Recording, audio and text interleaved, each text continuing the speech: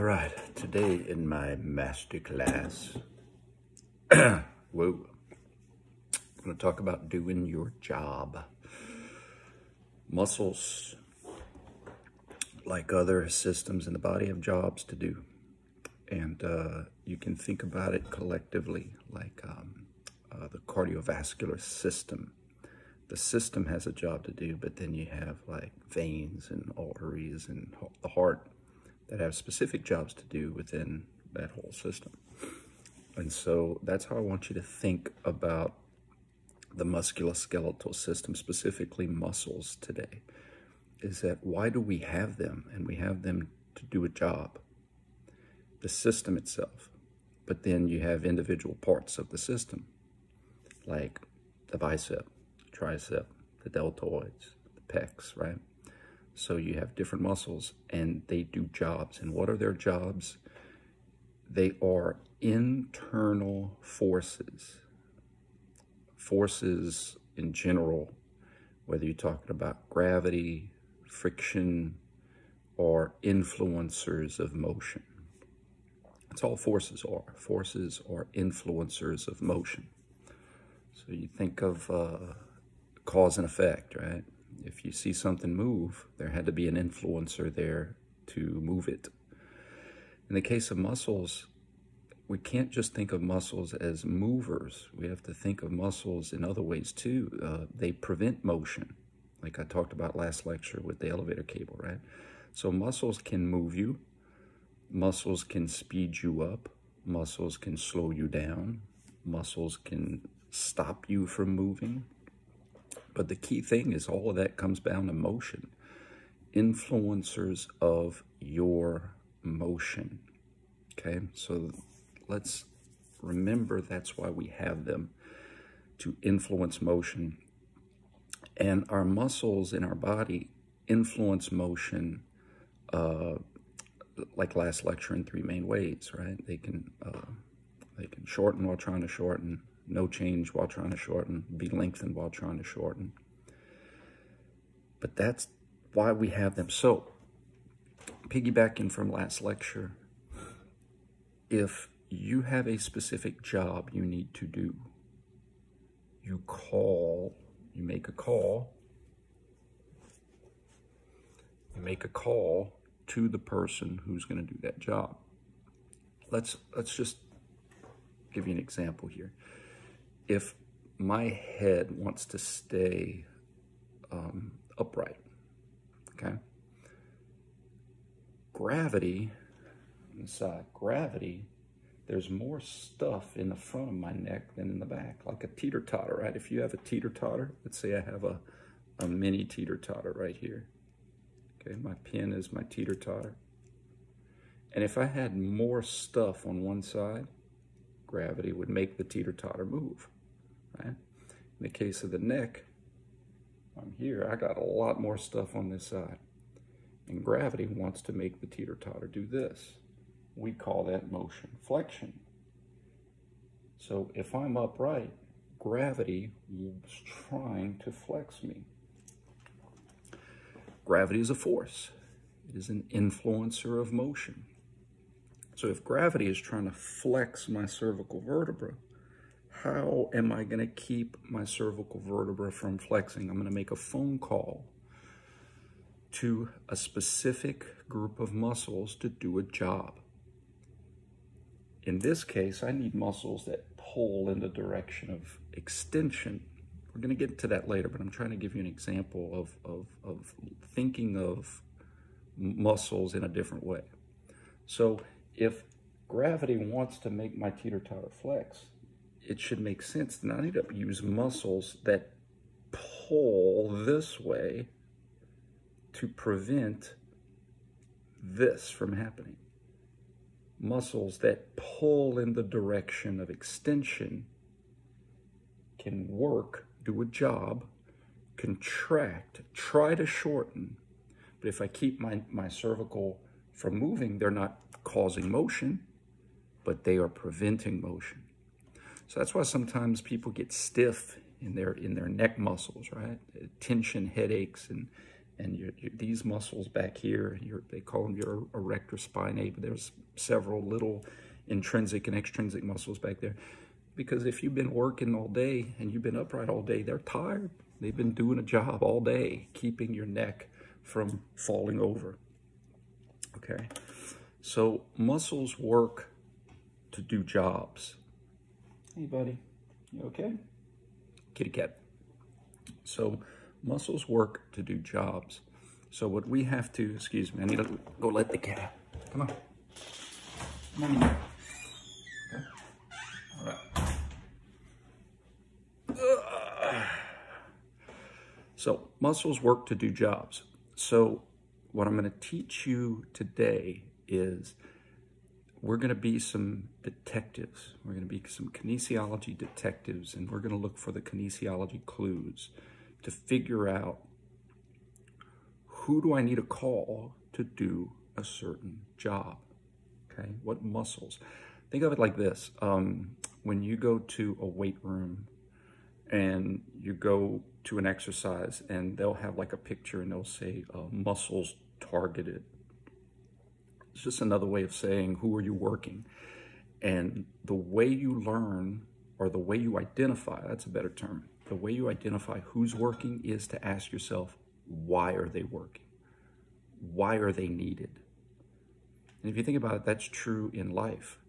Um, if something is on fire, you need to call the fire department. I know that's a simple analogy, but it's very true. You need to know who to call because you need to understand why you need to call them. If there's an emergency, you call 911. If you need a policeman, you call a policeman. If you need a doctor, you need a doctor. If you need a therapist, you call a specific type of therapist. If my foot, something wrong with my foot, I'm going to call a podiatrist. Same thing with skeletal muscles. We need to know who to call because we understand why we need to call them, okay? So I'm going to categorize forces right now into two main uh, categories. One, we're going to have intrinsic forces within our bodies. Uh, and I'm not talking like, uh, you know, talking about influencers of motion, right? So that's going to leave out the heart. That's going to leave out like interthecal pressure. That's, there's different types of forces, but specifically this is influencers of motion. So internal or intrinsic uh, influence of your motion is going to be muscles. Extrinsic forces, influencers of your motion outside of your body, that's going to be gravity, ground reaction forces, so basically the pushes that you're getting from the floor, friction that you're feeling from the floor, uh, if you're in a, um, if you're doing a bench press, external force would be like the bar pushing back on your hands because of gravity pulling on the bar. So basically, it's everything that's trying to move you outside of your body. Okay, so intrinsic or internal forces, those are muscles. External, extrinsic forces, those are things like gravity, friction, pushes, specific things outside of your body. And so if we keep it simple, if we keep it simple, muscles are only reacting or doing a job because of external influences. Okay? You know, it's uh, it's really that simple. So um, I have an analogy uh, that I have in the book. I, I want to make sure I have the right page. It's around 62 or so, but it's the tug of war analogy. And what the tug of war analogy is, look, I, I made, I, I, went robbed my little son's uh, R2D2 lunchbox because I tried to do some props. I'm doing the best I can, guys. So what I have here is a lunchbox. Now this represents something. It represents uh, uh, something that has uh, that has the force of gravity pulling down on it, right? Gravity's pulling down. Now, I want to preference, gravity is always pulling what we perceive as down. It's really pulling to the center of planet Earth, right? And we use machines and exercise equipment to redirect that pull of gravity. That's why we have like pulleys. So imagine like a, a tricep push down exercise, right? Where gravity is still pulling on those metal plates, but because of pulleys, the pulleys redirect the force. So in other words, uh, if you had a pulley here, that force would be redirected where on one side of the one side of the pulley, gravity is pulling down, but the pulley redirects to try to make your hands go up. Okay, That's one of the functions of, of a pulley or a lever system where it could redirect the force. Neither here nor there. So here we have a, a weight, something with stuff in it, and gravity wants to move it down. What I have here is I have this little arrow that represents the direction of pull force that this string has and what is needed to do a job. Okay, so if I if I want to keep, if I want to take my hand off of the lunchbox and keep it for you guys to see, I need this string to pull up. And it's doing a job. Spin around, huh, buddy? Okay. It's doing a job. It's keeping the lunchbox from falling down. Now, what if the job was to, let's say the lunchbox was too low and I needed to raise it up. I needed to influence its motion. I needed to actually move. I'm still going to be pulling in the same direction. And I'm going to make it come up. That was an analogy of concentric work. Pulling up, bringing it up while pulling up, shortening while trying to shorten, making it come up, okay? What if it was too high? I held it up here and you couldn't quite see it. Now, remember the string's still pulling up, right? Preventing it from falling down. So in this example, I'm gonna say, okay, I'm gonna let it come down. So the motion is down, but the influence, the force that is controlling that motion of coming down is still up. And that is the trick to eccentrics. Eccentrics is pulling in one direction, but either allowing it to speed up or making it slow down in the other direction. So again, by pulling up, I can allow it to come down. Now, obviously, if I snip the string, the little, uh, little lunchbox would fall down at the speed of which gravity can offer. So not all motion you want gravity to speed up, right? Like in other words, if you're uh, if you're if you have a newborn baby, a baby doesn't have to be newborn baby, but you don't want gravity to lower that baby into the into the the crib. You don't want gravity to speed it up. You want to do a job, which is to control the speed of going down you are, in essence, making it go slower than what gravity can offer. That's a job. That's a job. Slow and controlled motion. You know, if you had a bucket full of water, right, and you didn't want to spill any, you would control the speed. I'm not going to tell you what's in this glass. If, you, this glass was filled to the top, and you wanted to lower it down, you would control the speed of which it goes down. Gravity is like, dude, I can make that go down real fast.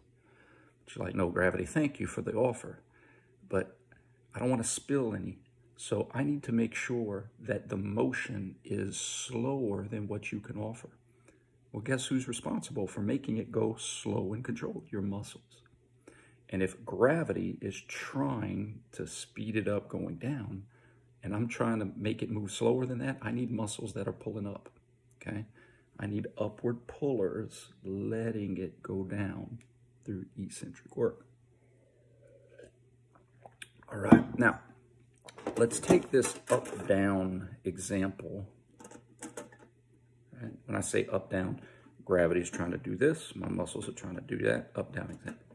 And let's bring it across, okay? We're gonna bring this example across into the tug of war analogy. So not all forces, external and internal, are up and down. Some of them are across, right? And if you think about it, machines, again, through pulleys, you can get into a fly machine and the influences are in the across, not necessarily the up down, like that. Delirious. So let's use a tug of war analogy. And we, of course, for this analogy, I'm going to have to define some things and set some parameters here, okay? So if you are playing tug of war and you are playing tug of war with a child, that's important here. The analogy that I'm going to set up with this tug of war analogy, and it's all in your book, but I'm, I'm going to try to do a better job of, of enlightening, uh, uh, embellishing it and explaining it for those of you that may not kind of catch on um, to the book analogy. You represent your musculoskeletal system. You represent the internal intrinsic forces. You represent, because you can control you. So you represent the muscles that are needed that you call to do a job. Remember, calling muscles to do a job is the, the simplest way of explaining innervation because your nerves call. Your nerves are actually communicating that message. Your brain is you, your nerves are the phone system, and then the muscles do their job. So in the tug of war analogy, you're playing tug of war with a child. Now, why a child? Because the child represents external forces, which are technically it's true because that child pulling on that rope is external to you. It's internal to them, but it's external to you. It's an external force. It, it could be it could be arbitrary. If that kid's pulling with 20 pounds of force, that could be a, a weight pulling with a pulley of 20 pounds of force. In other words, it doesn't matter who's doing it. You just know that there's a force trying to pull that rope the other way that you pull. So you're playing against a child. And again, why a child? Because that child, we're going to assume, can't pull as much as you can. In other words, you have the potential to create more pull force than the kid. And that's true with most exercises. What, what exercise have you ever gone into a gym and purposefully put more weight than what you can influence? No. You put weight that you know you can move. And so again, that's why I have this scenario set up the way I do. So here's the tug of war string you have a kid, this is a kid's lunchbox, and the lunchbox is trying to pull this way, trying to bring the rope this way. There's your pull, comes up. You're trying to pull this way. So there's the tug of war. You have two forces. One is external to you and the other is internal to you. Outside inside, outside, inside. So let's think of how you can influence motion. Let's pretend that in the middle of this tug of war rope, there is a little flag. In the middle of this tug of war rope, I need an extra hand.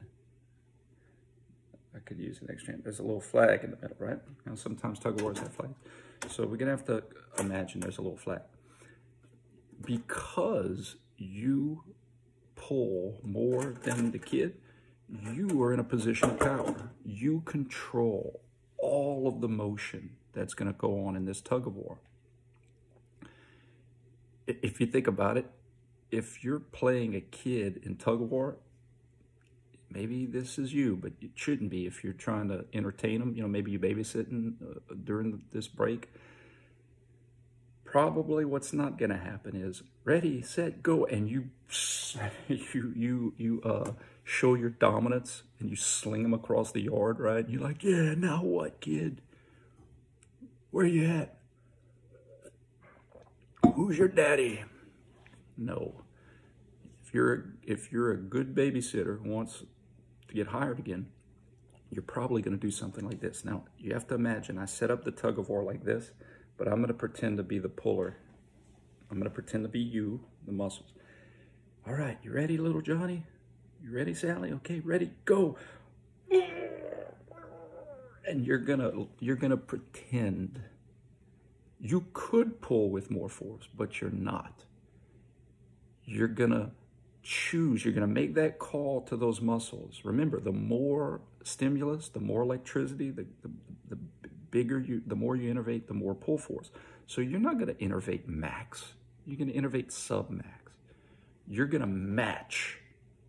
If you're playing tug of war with a kid and you're trying to literally play with them, you're going to see how hard they're pulling and then you're going to match it.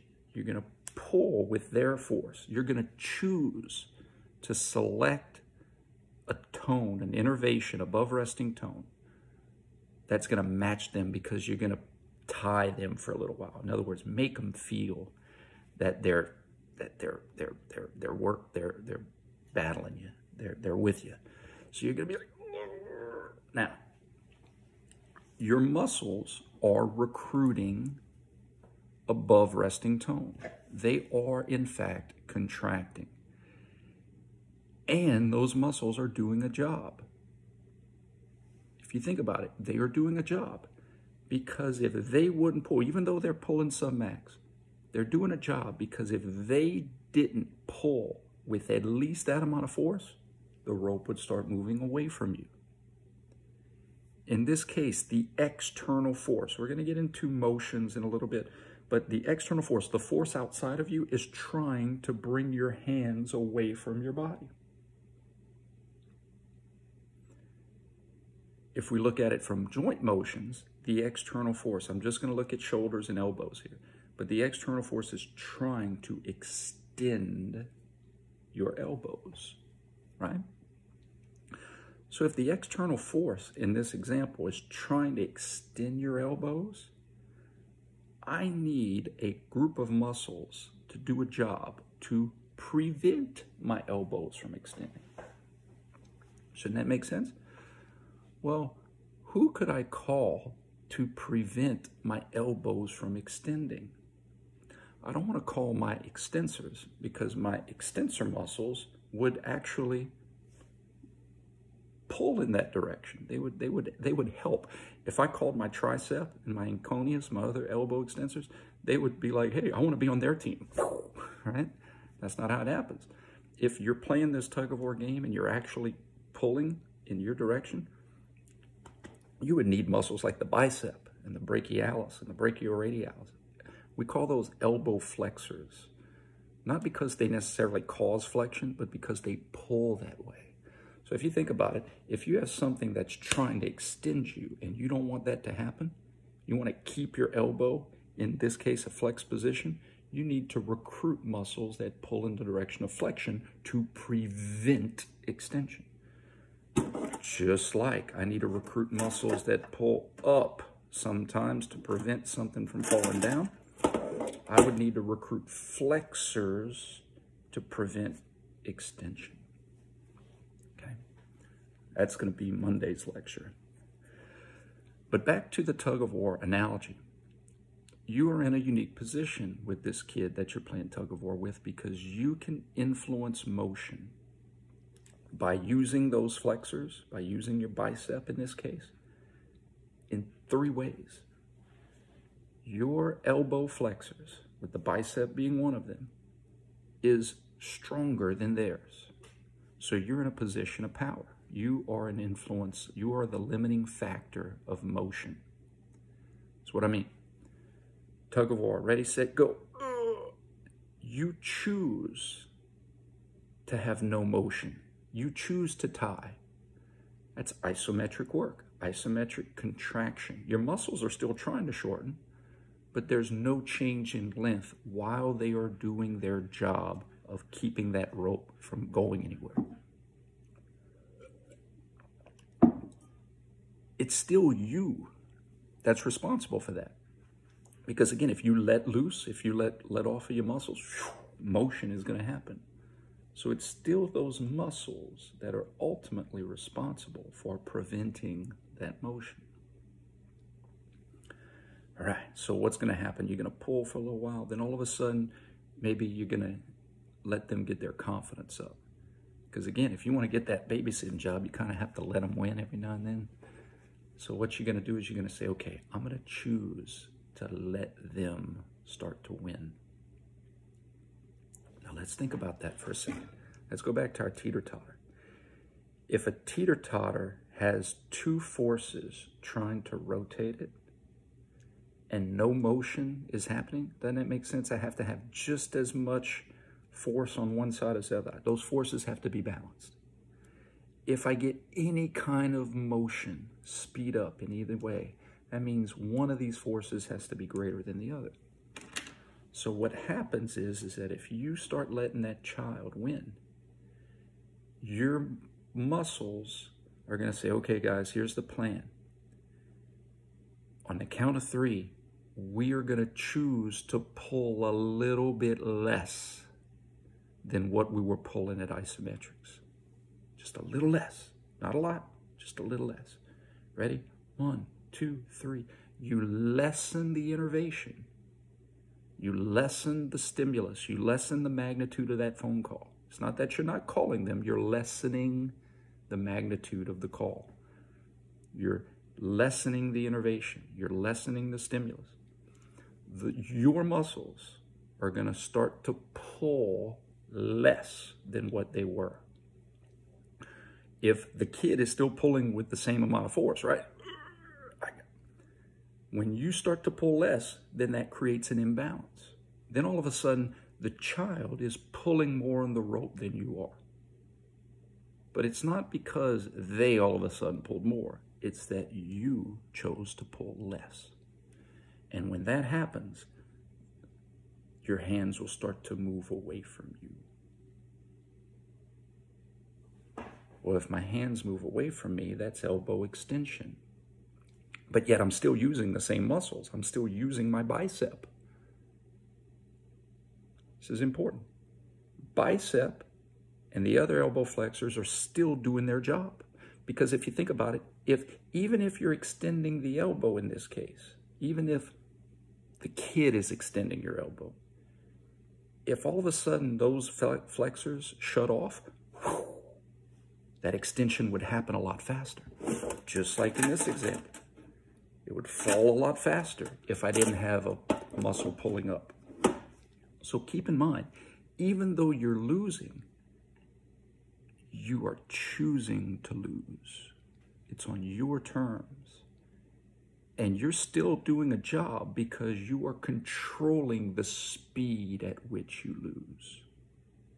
You are determining how fast I'm gonna let my hands move away from me. You are still in control. That's eccentric example, analogy. Being lengthened, yet still trying to shorten. Not at max. I'm not saying you got to try to shorten max. It's rare.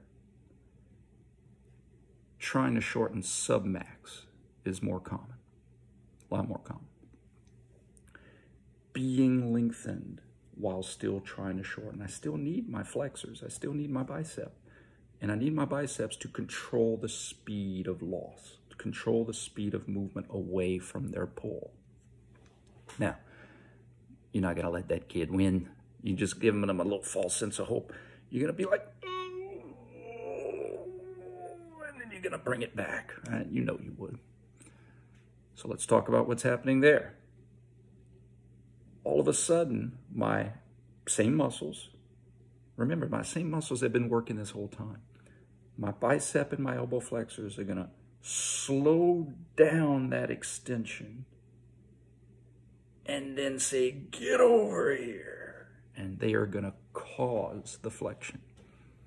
They're going to be responsible for that elbow flexion. And remember, when I have elbow flexion, I start to win. I bring the flag to me. Shortening while trying to shorten above resting tone. That's concentric work. So the tug of war analogy, where you represent your muscles, the kid represents the external force, man, you can see all three scenarios from the perspective of, of a muscle like your bicep. Tying while trying to shorten. Um, again, imagine if you're tying the kid, right? You're like pretending, and there's no motion, and then the kid let go. What would happen? You'd shorten. Because even in isometrics, in that tug of war analogy, you're trying to shorten. Okay? So in the tug of war, we have all three scenarios of work, of doing the job. no length while trying to shorten, isometric. Being lengthened while trying to shorten, eccentric. Shortening while trying to shorten, concentric. The tug of war analogy is meant to serve as how most motion happens, slow and controlled. Slow and controlled motion. That's not to say that you can't have fast change in direction and fast motion. It's just that that's rare. You know, you think of Usain Bolt, the fastest man that's ever walked this earth, and he's a sprinter. This is what he does for a living. How often do you think he's moving as fast as he can in terms of his activities of daily living? Rare.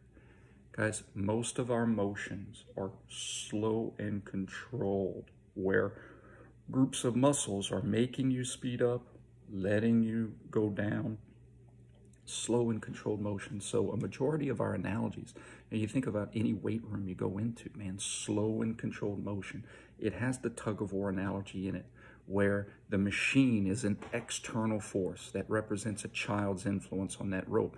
In other words, you can beat it you set the weight. It, it, you wouldn't set a weight that you couldn't move because then you wouldn't even do one repetition. You're going to set the weight sub max so that your muscles can be greater in this tug of war. And then let's say, for example, I'm doing um, a, a, shoulder press, okay? One arm shoulder press so I could keep this now. I get into the machine, I make it go up. That's work doing a job, concentric work, making it go up. If I want to hold it here for a second, I am making it stay up. Because if I turned off all my muscles, it'd fall down. So the same muscles that made me go up in this tug of war are still pulling above resting tone to keep me up. And then the trick is the same muscles that made me go up and the same muscles that are keeping me up let me go down. Eccentric work. Because once again, if I use muscles that pulled down, I'd have gravity and muscles. Imagine having a tug of war where the little kid and you were pulling on the same side of the rope. You'd make the rope fly across the room. It's the same concept. Imagine having gravity wanting your shoulder to extend and then all of a sudden you recruited muscles that pull down, you'd have two forces pulling on one end of the tug war rope with nothing on the side. You'd make it go fast. That doesn't sound very safe, right? So in exercises and activities of daily living, the trick is, and I'm going to piggyback this on the next lecture, identify why those muscles need to work. And you know why those muscles need to work because you're going to be able to figure out what motion external forces such as the ground, gravity, weights, machines, what motions are they trying to cause? What motions are they trying to do? How are they trying to move me? In other words, if you understand that the kid wants to pull you this way on the rope, then you need to pull that way on the rope. If the kid wants to do this, you need to do this. If the kid wants to do that, you need to do this. If the force is trying to extend me, let's say I have a dumbbell.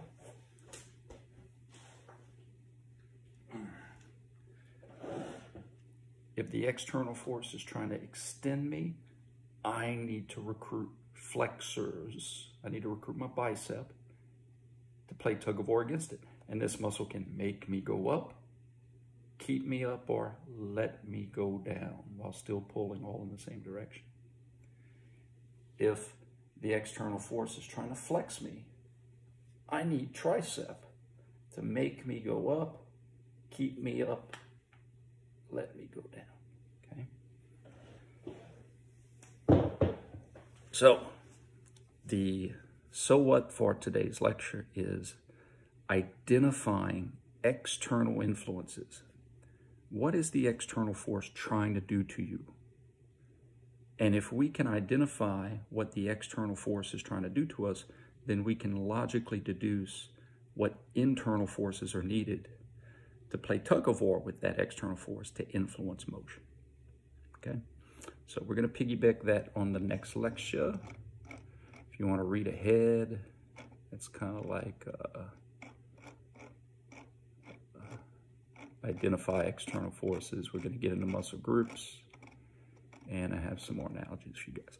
I'm trying to keep the lectures between 30 and 40 minutes because I know that it's hard uh, to pay attention uh, in this kind of setting, and I can't kind of run around and do silly things. So uh, stay up on the lectures, guys. And uh, if you have any questions, you know what to do. Later.